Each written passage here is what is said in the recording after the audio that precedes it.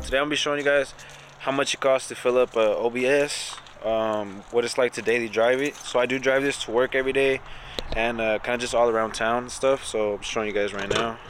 So it was kind of like a POV of me going to the gas station and stuff, showing you how much it costs.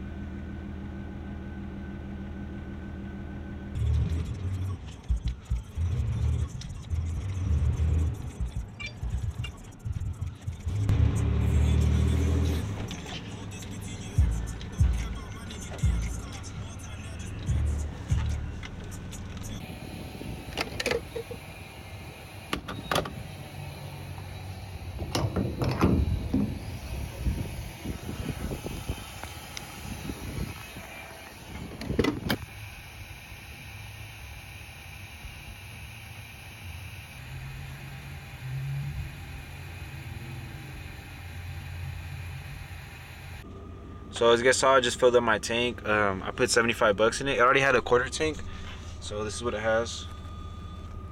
Um, I still could have filled up more with about like three, four more gallons because it's a 24 gallon tank.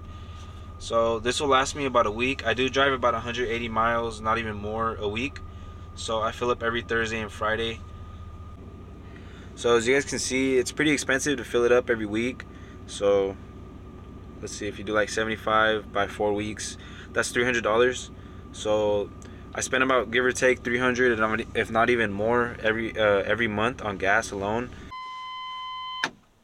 So I do put gas slot obviously every week. So Costco card is essential for me because I mean it gets cheaper gas it saves me a lot of money. And then even right here the Verizon card.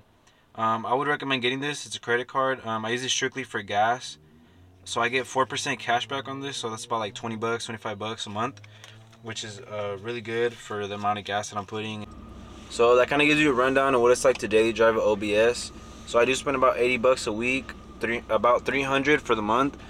Um, that is pretty pricey, but I do love driving my truck. Um, hopefully this helped you guys. If you guys are looking into getting an OBS, see kind of how pricey it was, if it didn't budget and stuff. Um, stay tuned for more. So thanks for watching.